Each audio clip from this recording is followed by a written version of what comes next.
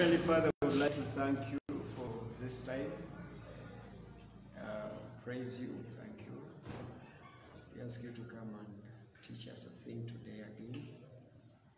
In Jesus' name I've prayed. Amen. I- Aionios. Uh, Aionios is, uh, is a Greek word found in John chapter 17, verse 3. And the text says, And this is eternal life, that uh, they know thee, the only true God, and Jesus Christ, whom thou hast sent. This is eternal life, that they know thee, the only true God. Now, the the, the English word eternal is the Greek word aionios, eternal, eternity. I know. Io, aionios. Aionios. Yes, aionios is uh, is the word that is translated as as eternal. Now, this word is uh, is largely used in the Gospel of John. I don't know where John got this this complex Greek, but uh, he he might not have known too much Greek, but at least he picked some significant terms to use, like uh, logos. Uh, that day will come when we talk about the logos of John. But uh, another term that he uses uh, so often and frequently in his in his gospel is uh, is that of Aionios, and uh, it's very interesting when you look at this text. Eternal life is knowing the only true God. It's very interesting. That's eternal life. The only way to access eternal life is to know The only true God. the only true God. Now, the important adjective here is true God. Okay? Uh, that means you might be knowing God. Okay? But that does not necessarily mean that you know the only true God. So you knowing God is not enough for you to get eternal life. For you to know, to have eternal life, you need to know the only true God. That's why it's very important when someone tells you praise Jesus to know which Jesus you're praising. Is it the only true Jesus or, or, or something else? So you need to know who the only true God is. Okay? Uh, and, and, and, and once that is, uh, is, is, is, is established, then, then you So eternal life is knowing the only true God. And I think we'll come back to that. But uh, for now, let's look at uh, the Aionios, eternity. What is eternity? How would you uh, define eternity? In one word, what is eternity? Endless. Unending. Endless. Uh-huh. Unending. Those are two words. Oh, that's one word. Unending is one word. Unending. Unending. Okay, unending. Endless. Okay, fine. But, but, but fundamentally, eternity is time, isn't it? That's how we know it, at least. Okay, that, that's how we it's it's uh, it's time. Now, the Bible has two ideologies. They, of course, there's a third one, but which is very weak, and that is the Aramaic ideology. Very weak because even the texts that uh, represent Aramaic in the Bible are very few.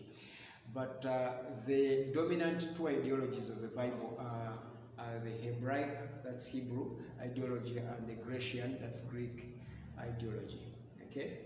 Now, in uh, in those two worlds, all right, in, the, in those two worlds, there is a way each world understands time. In in the Hebraic ideology, time there is nothing like it is eleven o'clock, independent of what is happening. Do you understand? There's nothing like that. But in the Greek, there is time independent of happening. Mm. and it is and this world actually is influenced by the greeks so for us you can say what time is it now by the way what time is it 12:30. it is 12.30 now you can see that the way you talk about time you talk about time independent of what is happening that's the grecian way so it is an abstract way and perspective of time It is 1230. Mm-hmm. But in Hebrew, there's nothing like 1230. It must be 12 of 12, 12, 1230 of something. Maria. Aha, amalya g'ekyemisana like the Luganda. Now, in the in the Hebrew or the Hebraic ideology of time, time is an event. We don't have time until something happens. You get the Hebrew. Aha, that's the Hebrew way. So there is no time. Okay? An event. Aha, they are just events. And I think they are the ones who influenced the, the AD, the BC, yeah? Mm. Aha, the counting of time and clustering of time. You, you, you have to understand that for them, there is nothing like time. They are only events. We attach time to an event in Hebrew. Okay? In Greek, we attach an event to time. The two are different, if you understand. And it doesn't hurt. it doesn't hurt. There, there is time without an event in Greek or in the Grecian way of thinking. Your way of thinking, because you are influenced by them, it is 1230 and doesn't matter what is happening. But to the Hebrew mind, something must happen, then we can think of time. So to them, time is an event, isn't it? Okay. So, so what then does the the Greek mind mean by saying aionios? What does he mean when he says eternity? I think it was Plato who actually coined the word aionios. Eternity. Okay. so what did he mean? And why does John borrow that Greek and apply it to life that we expect to get with the believers in Jesus Christ? Why? Why? I think those those are very, very, very. So, so Aionios, uh, it is not time. Why? Because time characteristically has a beginning and an end.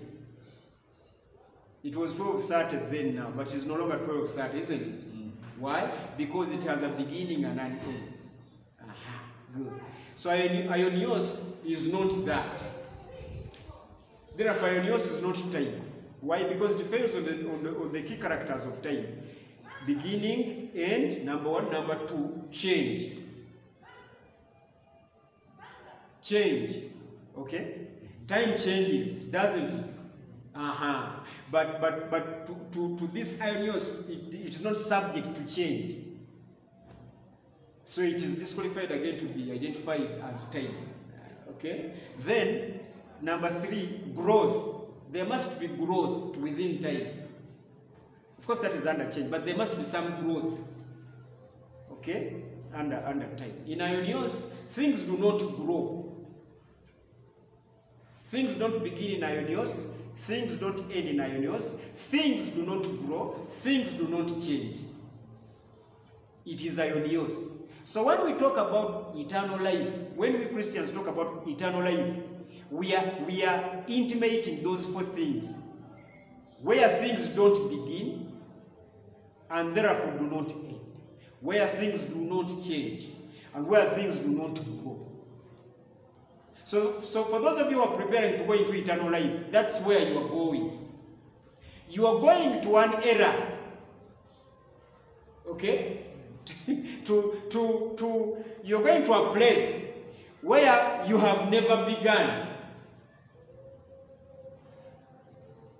But where you are, isn't you were born, isn't it? Therefore you were, therefore you began. You even celebrate your birthdays, don't you? Mm. Whenever you celebrate your birthday, you are celebrating your beginning. Ah, ah, uh-uh, remembrance of your beginning. Okay, exactly. Whether you are celebrating or remembering, it is the beginning. Uh-huh. so that's what you're doing. You are telling the world that you, you, you have ever begun. Isn't it? Now, John is telling us in John chapter 17 that this is eternal life. Once you know and believe that one true God, okay, you have never begun. And the following, therefore, cannot be attached to what, had, ha, what has, has never begun. The following, you can't end. Why? Because you've never begun. You can't change. Why? Because you've never begun. You can't grow. now that is what John is telling us. Amen. Do, do- you see? Do you see the meaning and the power of these words when you understand them from the original text? Uh-huh. Good, good. So, so, so and, and we all know who has never begun. Who is that? God. Why? Because Genesis chapter 1, verse 1 says, In the beginning, God created the heavens and the earth. In the beginning, God created the universe. That's what Genesis chapter 1, verse 1 says, isn't it? Hmm? Brilliant. Now, where were, because today we know, at, least majority of us, we know that God is in heaven. Isn't it? Where was he before he created heaven? To which is his abode, as Psalms tells us, and the Old Testament. Where was he? So between heaven and God, who is in, who, who is in the other? Heaven heaven is in God. Thank you very much. Why? Because God was before what? Before heaven. Uh-huh. So when God began to create heaven and earth, the only present place then was who? God. Therefore, he created heaven and earth in who? God. Exactly. Now, he has, and he has never begun. Are we together? But heaven and earth did what? Began. Mm. Aha. Now, since the two had a beginning, they therefore have an end. True or false? True. Good. It is only God who doesn't have an end. Therefore, eternal life is not in heaven and earth. Eternal life is not in any other thing that has ever begun. Eternal life is only in God who has never begun. That is what John is telling us. And this is eternal life. Knowing the only true God who has never begun. That, because that's where it is possible. Now, clearly, I am just winding up my sermon before I even begin. Clearly, if you want eternal life, it has got only one source. The one true God. Finished, isn't it? Very clear. So that's what God is telling us. Now, in the New Testament, there, there are two-fold use or benefits of aionios. Part one are the blessings of aionios. Then the other part are the curses of aionios. The blessings of aionios are eternal because aionios is eternity. And the curses of aionios are also eternal. Why? Because aionios is eternal. Now we are going to read uh, uh, very quickly too much Bible, and I want us to do it very fast. Uh, John Hebrews chapter 13, verse 20. Then one was going into Hebrews, should also go into chapter 9, verse 15. 9:15. Mm. Then John, okay, let's start with uh, Hebrews 13, 20. Hebrews 13. 13 12 says, Mm. Now may the God of peace, Mm. who through the blood of the eternal covenant Mhm. brought back from the dead our Lord Jesus, Mm. and great shepherd of the sheep, Mm. equip you with everything good for doing his will, and may he work in us what is pleasing to him. Key word we are looking for there in Hebrews chapter 13, verse 20. Eternal covenant. The, the covenant that we have with God has no time. Now, we've all participated, participated in agreements, isn't it? The, the land agreements, etc., they even they, they, they have time. Isn't it? The covenant that we have with God, which covenant is that? The one in which we have a relationship with Him, okay, is eternal. Never. It, it never began. Why? Because one of the participants that participated in that covenant never began. So the relationship has never begun, therefore it cannot end. The relationship between you and God, once you enter into a covenant with God, it cannot end. Why can't it end once you believe Jesus Christ? Because it has never begun. How do I know that? Because he says in Jeremiah chapter 1, verse 5, I knew you before I created you. In other words, you were with him in his eternity. You can only fall out of eternity. So you have a relationship with God that cannot end. Now that is not as important as this one. The way God feels about you cannot change. God has an eternal loving attitude towards you. That can't change. Then it is not a feeling. Aha. Therefore, it is not a feeling. Why? It is, it is a standard attitude towards you. Eternal covenant. The first legal and co- co- Hebrew covenant that he had with the Jews ended. Why? Because it began. Even the stipulations were legal. The one that we have with God today, once we believe Jesus Christ, that covenant is eternal. Hebrews 9:15. Hebrews 9.15. Who is in John 14, 1? 2 Corinthians 5, 1. Hebrews 9:15. 9.15. Yes. For this reason, Christ is the mediator of a new covenant, Okay.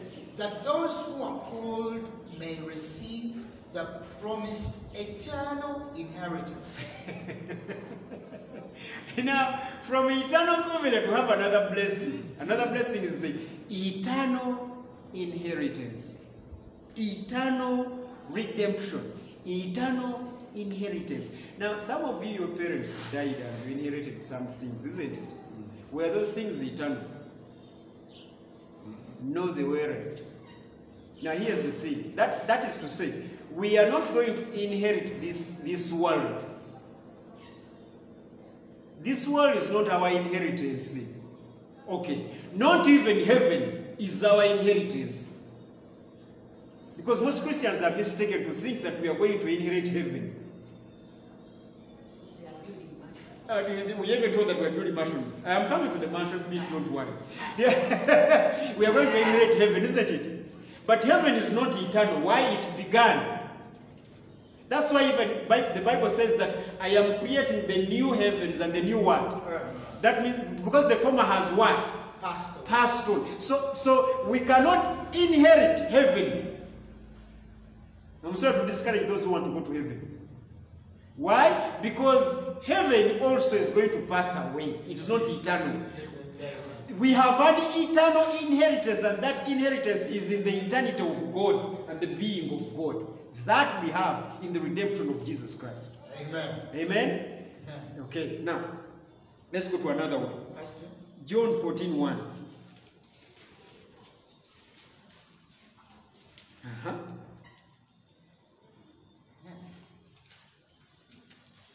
John 14 1. Mm. Do not let your hearts be troubled. Okay. You believe in God, Yes. believe also in me. Mm. My father's house has many rooms. Okay. If that were not so, Mm. would I have told you that I am going there to prepare a place for you? No, no, no.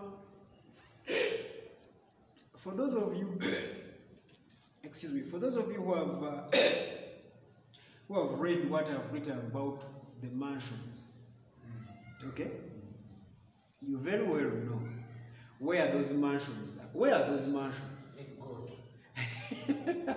because it says, let your let not your hearts be troubled. Believe in God and believe also in who? In me. In my father's house. Where is that house? In the Father. It, it- it- it is the father. The house is the father. Why? Because the father cannot be housed. Hmm.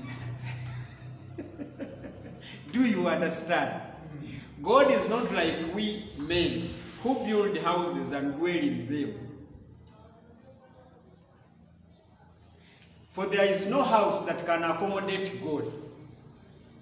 It is rather that God creates houses in Him. The, our eternal habitation, our eternal habitation is in God. Amen? It is where? God. It is in God. But wait a minute. Before we go in God, there is another house that we are under. Do you know that house? Second Corinthians chapter 5. Uh-huh. There, there- there is that house that we are housed under. Chapter 5, verse 1 says, 5 1 says, For we know that if the earthly tent we live in is destroyed, uh-huh. we have a building from God, Okay? an eternal house Uh-huh. in heaven, not built by human hands. Ladies and gentlemen, this body that we are under began and it ends. It grows, it changes. But we are going to have another aionios body. You are going to be dressed with another different body that does not grow. And I think this is good news, most especially to women. You are going to be dressed in a body, okay, that doesn't need makeup that is aionios. It doesn't change. Ndowooza olina okuzuuka ozuukuse wamuwuliriza where your body is going to be fresh you are going to be dressed in a body that does not need filters. If for the men.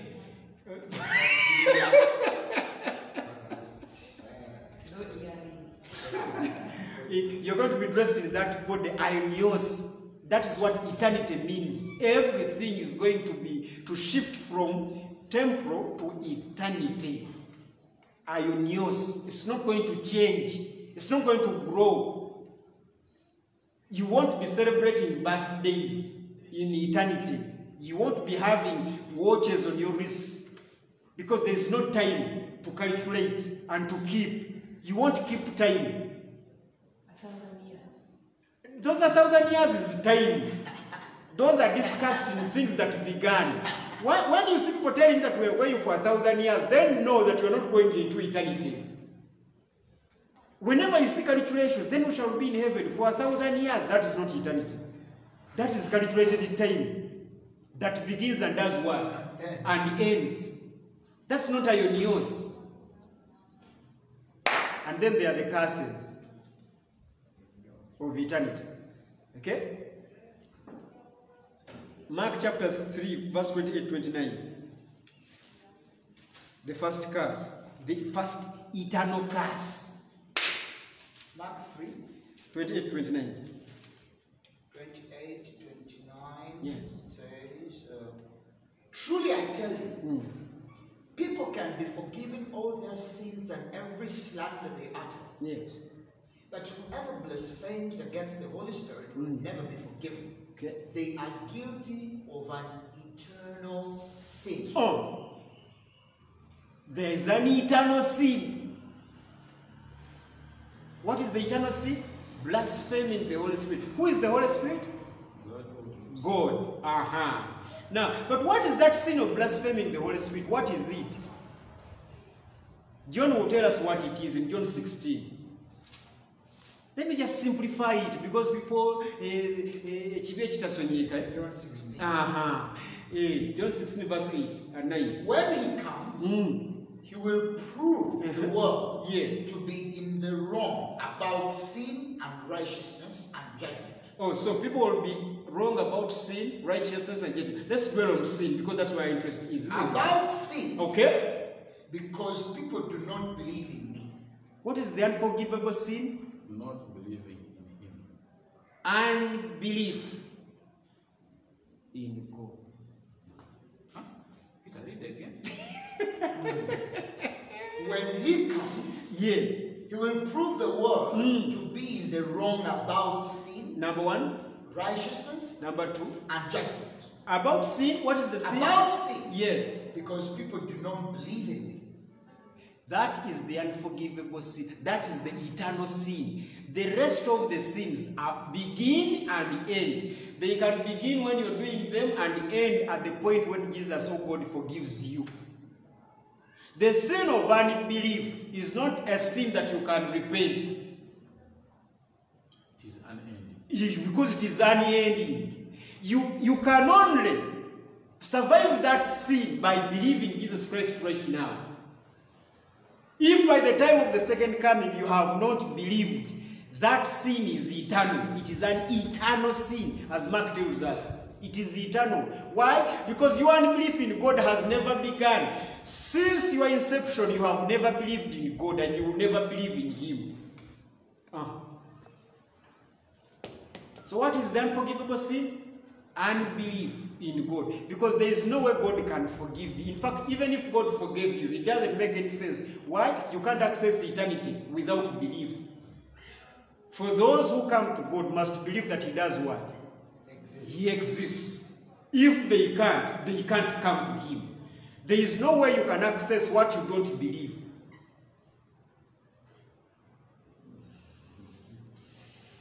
Let's have another curse, eternal, eternal curse. Thessalonians 1 9.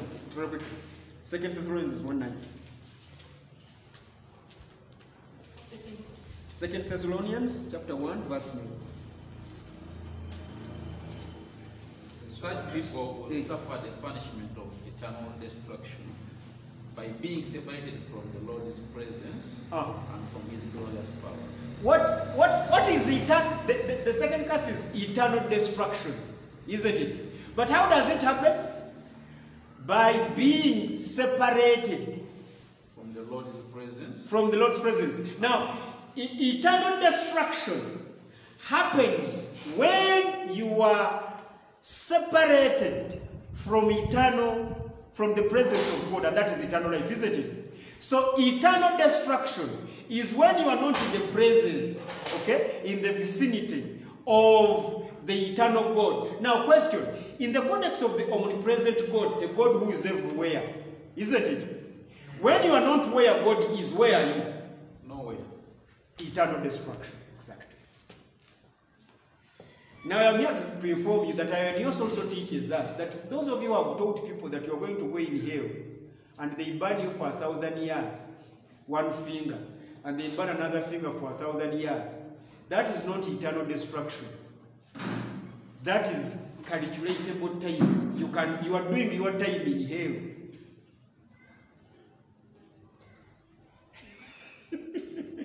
Are we together?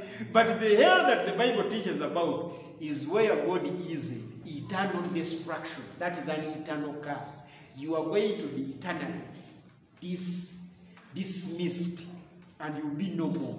It's an eternal disappearance. Amen? Nyam, nyam. how then do we explain Lazarus' story? Lazarus, the rich man and Lazarus. Yeah, yeah, yeah. It's a parable. It's a parable, and uh, it's very important always not to dwell on the teaching aid and miss the lesson. Get lost in Uh, don't, don't get lost in illustrations really. So let's leave Lazarus and, and Abraham alone. Uh, may God bless you, sister, as you shift from the teaching aid peace. to, to, to the lesson. We'll get to that parable and then get to know. It's, it's, it's, so Aionios is the knowledge of the true God, okay? And Aionios is, is only in Jesus Christ, the only true incarnate God. Amen? Now, Jesus used three, three metaphors, okay? And uh, actually four of them, they are not actually all metaphorical, but he, he applied this word aionios on each. When he said that I am water, okay? He applied aionios on water. When he said I am food, he put there aionios. When he said I am the word, he put there aionios. When he, took, when he reached on himself, he said he also put there aionios. For instance, in John chapter 4, verse 19. Hmm? John chapter 4, verse 19. He verse 4, chapter 4, verse 14. 414. Yes, it's that story where we get the name of our fellowship. 414. Yes. But whoever drinks the water I give them. The- the- the- There's, there's, that water, there's that water in supply in this earth, isn't it? There is also another water that Jesus gives. Okay, what happens? Will never thirst. Okay, Indeed, Mm. the water I give them will become in them a spring of water welling up to Mm. eternal life. ah, the water that Jesus gives becomes like a spring to eternal? Life. Not to, not refreshment like the water that we take to refresh what is going to end and refresh again, isn't it? No, the water that Jesus gives, the living water that Jesus gives, takes us to eternal life. What about the food? Again in John. Yeah, John 6. 27 and verse 54. John 6. 47? Mm. 6, okay, 647. 627. 627. Mm. It says that do not work for food Mm. that spoils, Okay. but for food that endures to eternal life, Oh, which the Son of Man Hey, will give you. verse 54. So, so there's food that doesn't endure, and it's the food that we eat. We eat and recycle. Uh-huh. whoever eats my flesh Uh-huh. And drinks my blood Uh-huh. has eternal life, and I will raise them up at the last day. Now, do you know why Jesus says and tells us to eat his flesh and drink his blood? Because only his flesh and blood has never begun. Therefore, it has ingredients of aionios. kalikuwa gaya migati gigwawo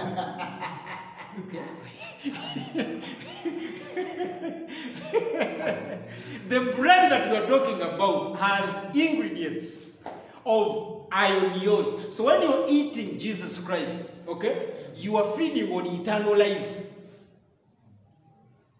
Do you understand? That's what you're feeding on. You are eternal. You are not just immortal. That is in verse 56. Eh? Eh, that is verse 54. 56. The person who eats my flesh okay? and drinks my blood Okay. remains in me Uh-huh. and I in him. Thank you very much. Because those by, by taking on Jesus Christ, okay, you are entering eternity. So when you die and they bury, they are going to bury this body, which we looked at, the one that rots, isn't it?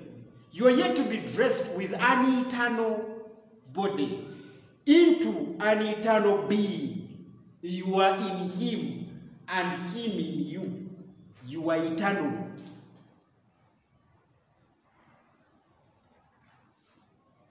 The difference between aionios or eternity to, with, to, to, to that of immortality, isn't it? Immortal things began.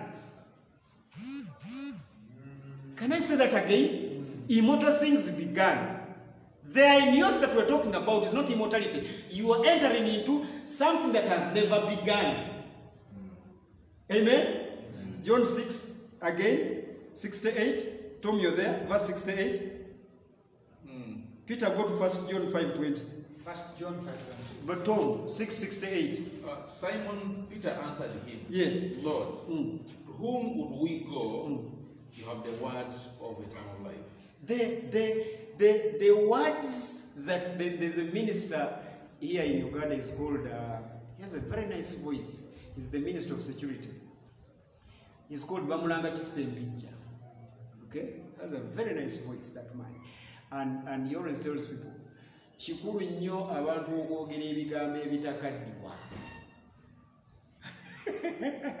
it's very important for people to say words that do not fail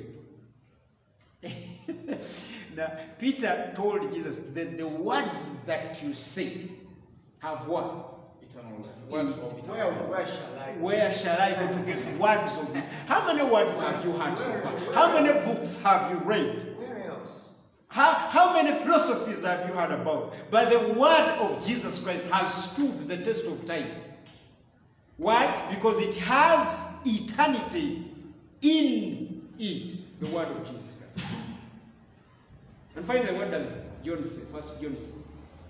We know also Yes. that the Son of God Mm. has come and has given us understanding so that we may know him Mm. who is true. Mm. And we are in him Yes. who is true by being in his Son Jesus Christ. Mm. He is the true God Mm. and eternal life. Jesus Christ is the true God. And, and John tells us, and John tells us, and this is eternal life. To know who? The only true God. Who is Jesus Christ. Hey, Pastor. Then, again. Damosome again. Read again. Emphasis up life. Eh, we know also that the Son of God yes. has come and has given us understanding Uh-huh. so that we may know him who is true. Uh, because people think that there is Jesus and there is God, and therefore Jesus is the Son of God, it is, isn't it? Uh-huh. Even John told us, and this is eternal life, to know thee, the true God, and Jesus Christ, whom he has sent. They look like they are two, isn't it? Continue. And we are in him. We are in him, in Who who? In is Jesus. true? Yes. Uh-huh. Who is true by being his son Jesus Christ. Uh-huh. God that is the Son. Let's continue. He is the true God and eternal life. That very Jesus that you call the Son of God is the true God and He is the eternal life. There is no way you can access eternal life without knowing the one true God, and that is Jesus Christ. My time is up, but John chapter 3, verse 15 says, For God 3:15. Let me read it myself. 3:15. John 3:15. Yes. So that everyone who believes in him Yes. Let's start with 15. Start with 15, don't worry. so that everyone who believes in him Yes. may have eternal life. Simple. Who? Jesus, isn't it? Uh-huh. Go to the famous one, 16. For this is how God loved the world. Mm. He gave his unique son so that everyone who believes in him Eh. might not be lost but have eternal life. But we have seen that eternal life is only in one being, aka God. God. So, Father equals eternal life. simple. That's the simple mathematics. John 5:24. You are still in John Tom. 5:24. Peter, you read verse 36 of chapter 3, John. 5:24. Yes. Truly I tell all of you Yes. with certainty. In, in certainty. Whoever hears what I say Yes. and believes in the one who sent me Okay. has eternal life Uh, and will not be judged but has passed from death to life. 336. What does 336 say? My time is up. 336. Yes. Whoever believes in the Son Mm. has eternal life that whoever rejects the Son will not see life, for God's wrath remains on them. God bless you. Amen. Amen. Amen. Amen. Amen.